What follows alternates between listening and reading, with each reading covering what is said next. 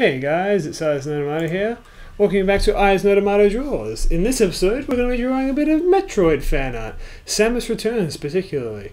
Um, now, first off, before I do, my usual rambling thing, I'll, actually talk about the drawing for once. So, what it is, is that um, you'll notice me go through several iterations because this time I decided I would actually show my conceptual stages.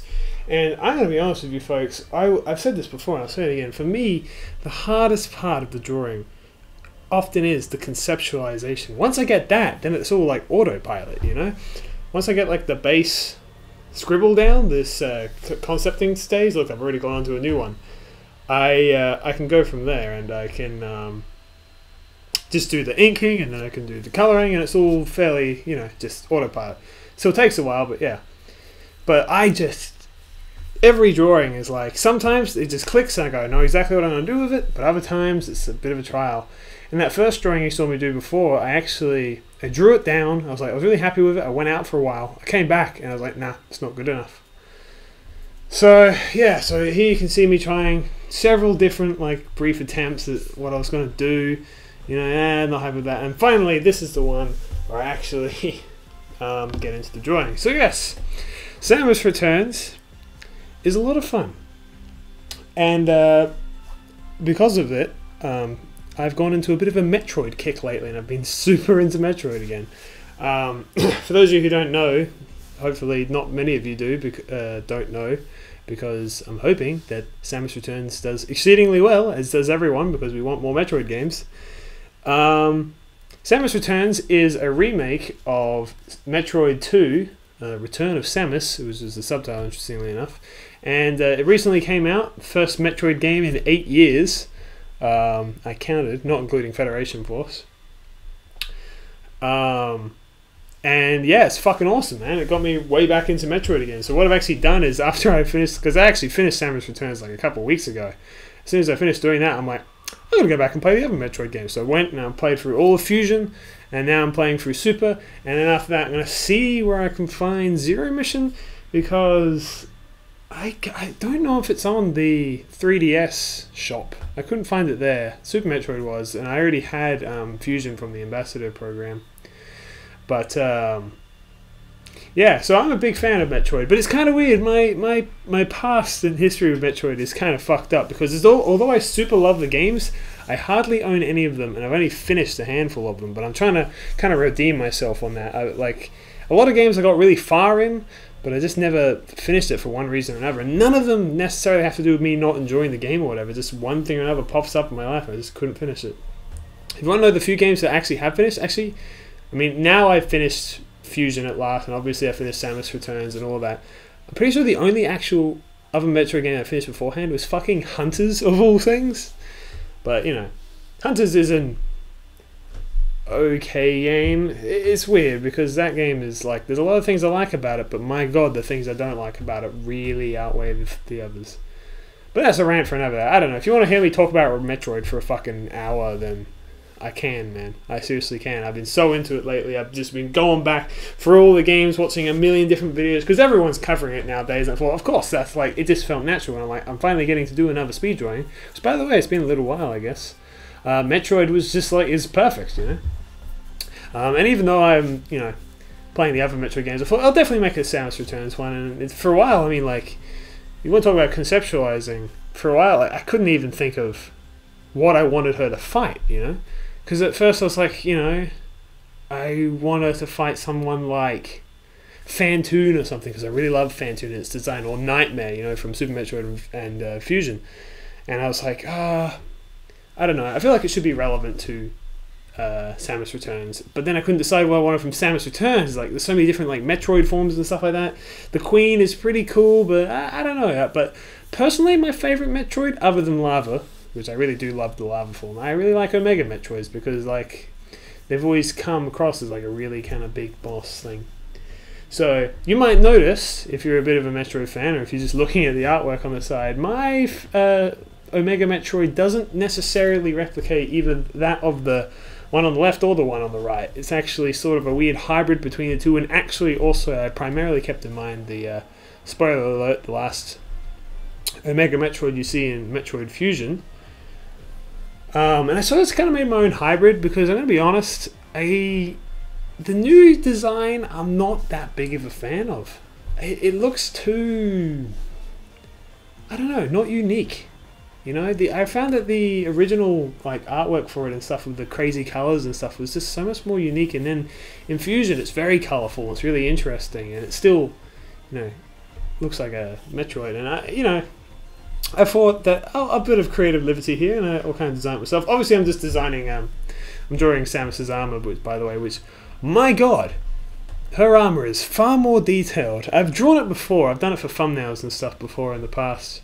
Uh, funnily enough, when we played Metroid 2 on AIM, um, uh, the original Metroid 2, that is, of course, and um, yeah, no, I don't remember it being this complicated. There's like a million things to it. It's like it's fine. Like I said, I was listening to something else in the background. Time just went by, but you'll see. Like this is also a really big drawing. Uh, it was funny. The entire like I cut out bits of the footage because like I pause it and go for breaks and stuff, or sometimes I open up different tabs and like browse the internet for a while to take a break or whatever. But you'll see it takes it goes over the course of two days with about three hours each roughly. Well, uh, more like two hours each, I guess. It took like three hours all up. No, uh, no, excuse me. it's more like two and a half hour recording sessions, roughly. Um, but what actually happened was, was kind of funny. The entire like footage that I recorded, um, and that includes my breaks and stuff, turned out to be uh, four hours, uh, fifty nine minutes and forty eight seconds. I shit you not. It's like, oh my goodness.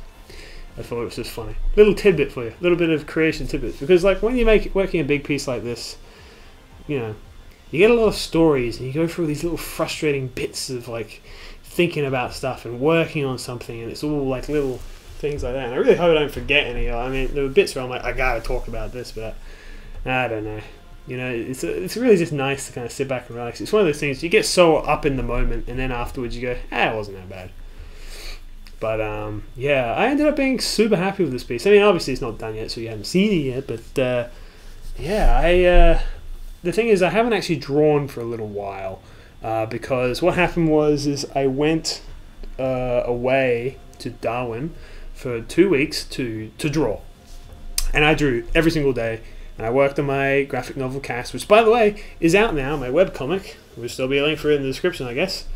Um, is coming out rather, I should say. It comes out every Tuesday and Thursday. Sorry, I'll stop shooting out for the time being. But um, but after I went there and I did that, I didn't draw for like two weeks at all. Uh, maybe more. I don't know. I just the first week I just took completely off.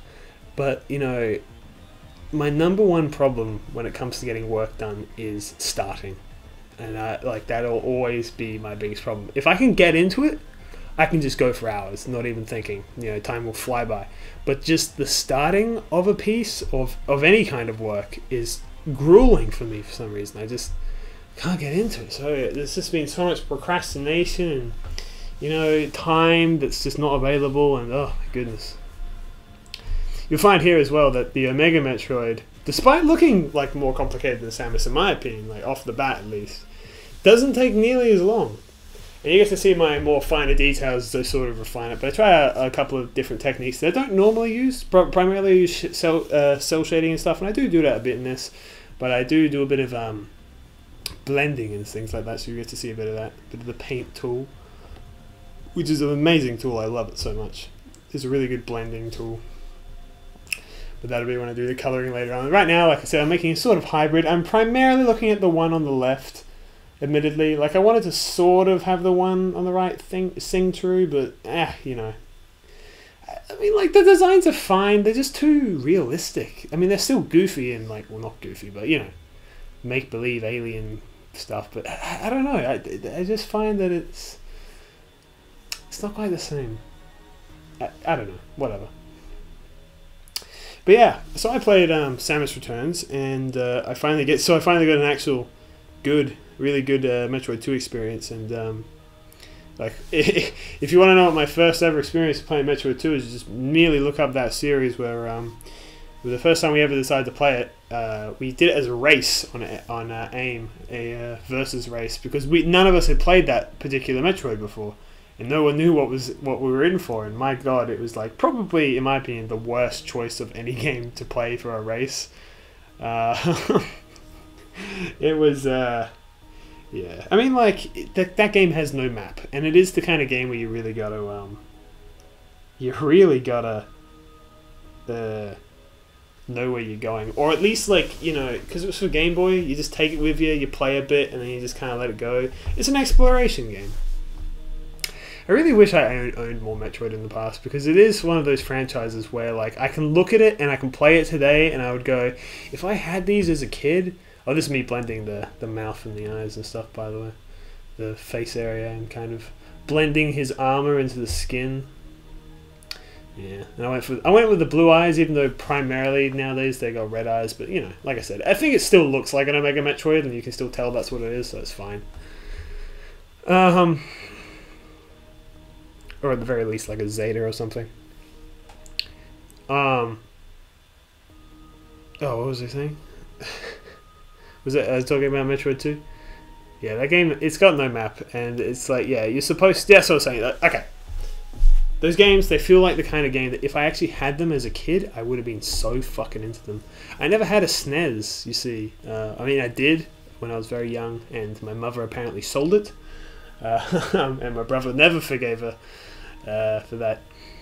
But um, yeah, and so I kind of skipped out on Super Metroid, and like I did have a GBA, but like just never picked up Metroid Fusion because I didn't know what it was really. I really wanted Metroid Prime for the GameCube, but like back then as well, like my mother wouldn't let me uh, buy those kind of games because they were too violent. Even though it's literally just like a space exploration game, really. I mean, it was probably the darkest one in the series. I say dark as in aesthetically. Less so. I say the darkest. Uh, I don't know.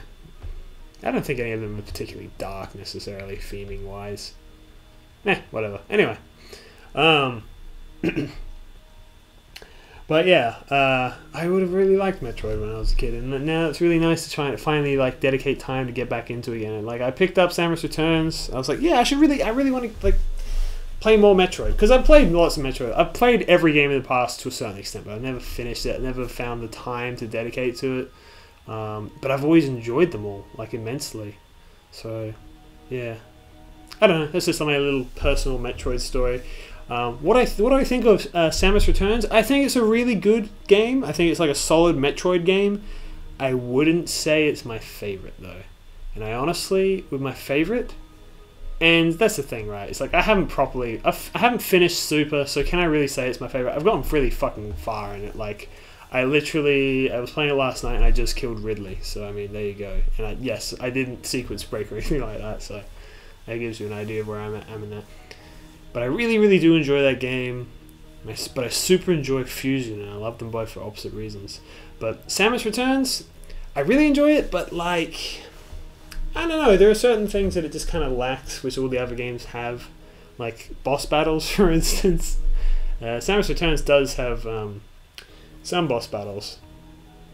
Uh, most of them are made up by the Metroids, though, is the thing. So it's like, eh, you know. But uh, there's I would say there's three proper boss battles, and they all happen at the end of the game. One of them has was like built up throughout the whole game, and then it was immensely hard. I mean, like it was challenging at least. It took me like way too many tries, in my opinion, but it was satisfying to kill. The one, the uh, the second one is the boss of Metroid Two, the end, uh, which is uh, spoiler alert again, fucking the Queen Metroid, and then there's a secret final boss and everyone's super like, ooh, you know, it's like, oh my god. I am not like that. I am very unhappy with that final boss, and uh, I just I don't know if I should spoil it, but I mean like, if you're a Metroid fan, you can maybe probably take an educated guess as to who that final boss is. And the reason that I don't like that final boss is because I can't. How can I put it? Does it have to be in that game? Really? That that boss, you can probably guess who it is. I'm not going to say out of respect, but fucking hell. Why do they have to shoehorn him into so many fucking games? Like you can tell who it is. Okay, spoiler alert is Ridley, right? It's fucking Ridley. I I, I, I recently did a recording uh, with Mabini to fucking talk about stuff and okay, whatever. I am so I don't understand why they have to shove them into every single game. It's a fun boss fight, but whatever. I'm ran, rambling so fucking much. I barely talked about the drawing at all.